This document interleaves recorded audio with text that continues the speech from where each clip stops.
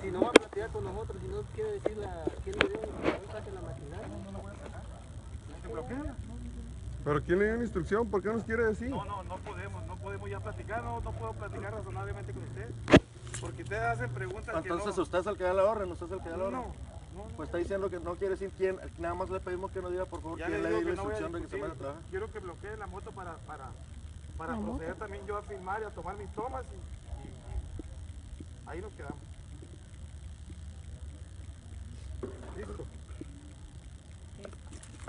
Saludos al Face. Ok, bueno. Entonces pueden bloquear la máquina, entonces.